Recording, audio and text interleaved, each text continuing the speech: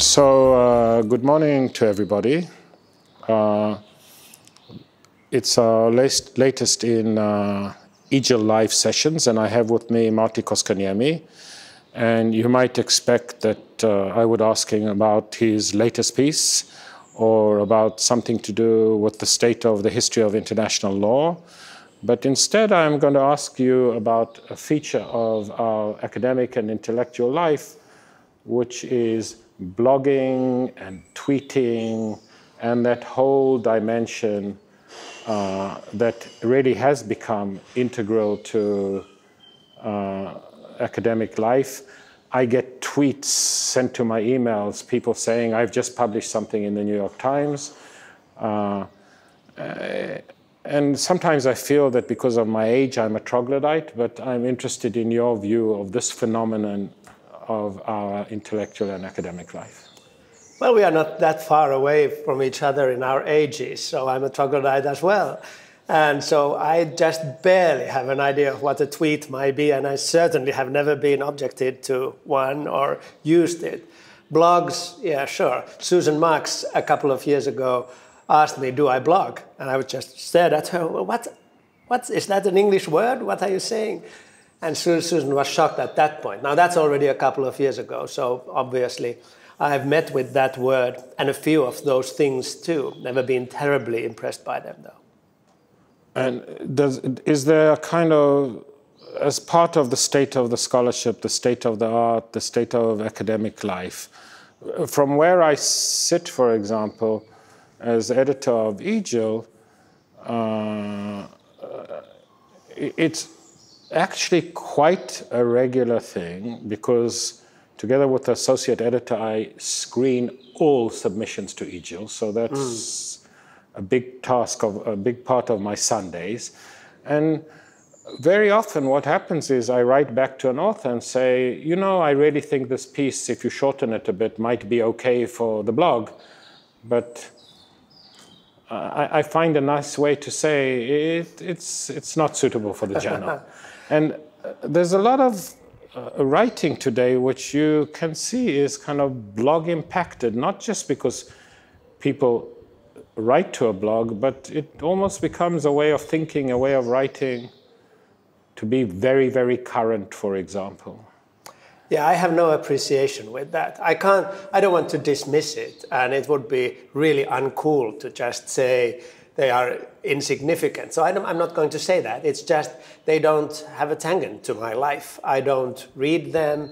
People sometimes come to me and say, Martti, wouldn't you want to blog uh, on a regular basis? And and I've always said no, because I don't really understand how they operate in the world of the media. What sort of an impact do they have? And, and as you earlier said, so I also think that they are probably kind of second rate arguments, arguments uh, which uh, you are, are incapable or unwilling to publish otherwise. So you squeeze them into a hamburger sized thing, which you then uh, invite other people to digest. I'm, it isn't appealing to me. Mm-hmm. I must say, because there's one blog which I do look at, which is EJIL Talk. It's our blog, etc. And sometimes there's some really acute stuff. And then I wonder to myself, I wish this would turn into a real full-fledged scholarly article, etc. But some of our readers and some of our uh, readers of both EJIL and the blog I've heard sometimes people say to me, the blog is much more interesting than the journal. it's true. But yeah. I, I, hear that comment. No, I, so one should be very careful not to to be too critical of that. And uh, just as an outside commentator, it seems to me, oh yeah, of course. So if it's a question of recent events and like, for instance, so I've been involved in the TTIP uh, talks in Finland and in, uh, in Brussels a little bit. And so it seems that many of the people with whom I interact in the transatlantic partnership critique and endorsement or whatever, they do this inside the blog, blog sphere.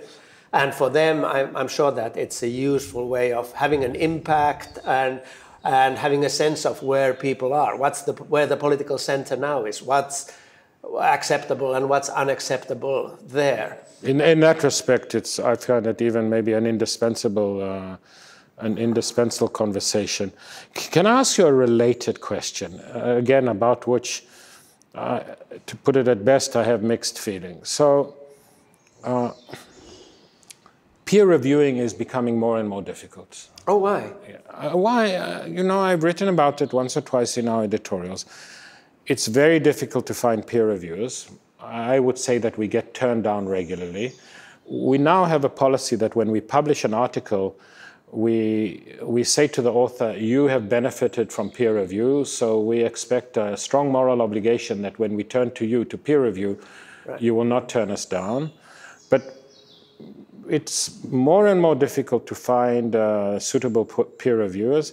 And very often, even when people agree to do a peer review, what comes in is one or two paragraphs which are pretty useless. You know, this is a good article, publish it, or this is unpublishable, but not the kind of serious peer review that the word peer review suggests.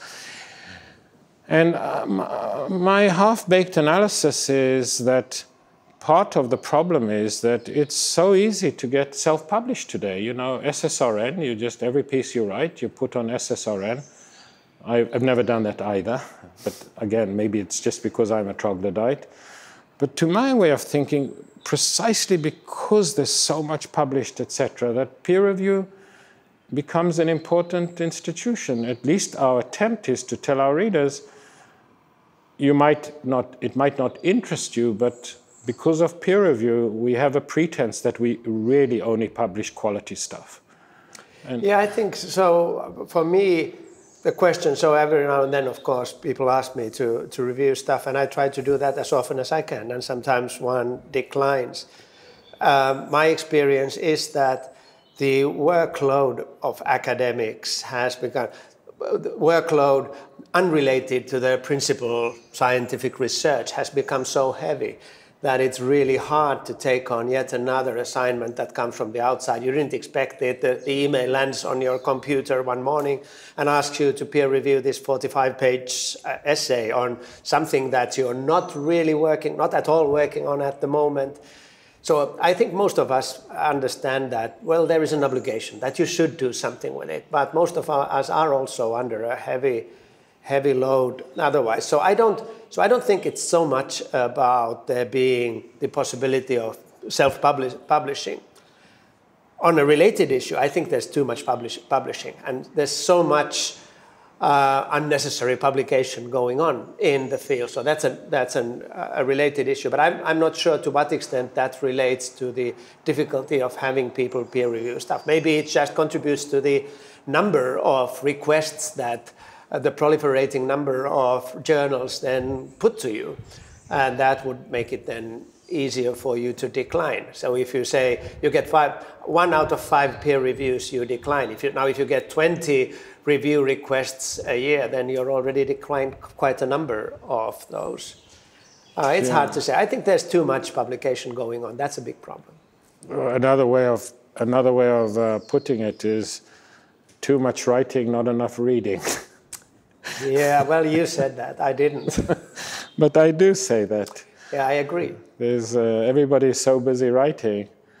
There's less time for reading. I, I find it anomalous because in the promotion uh, in the promotion area, there's increasing reliance on peer review, publication in peer review journal.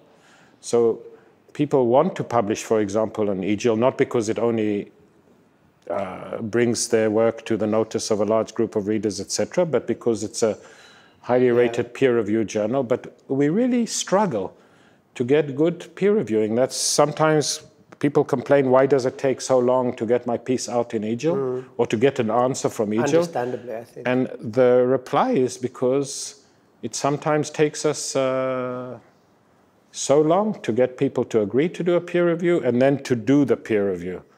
I think our record is uh, somebody keeping us waiting for 187 days.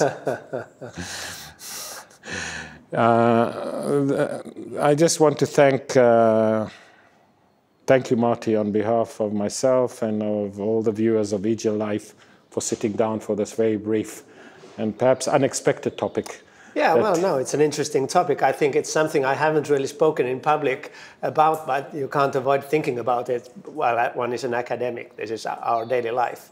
So thanks for the invitation. It's great to be here in Florence. Great to see you also. Thank you all very much.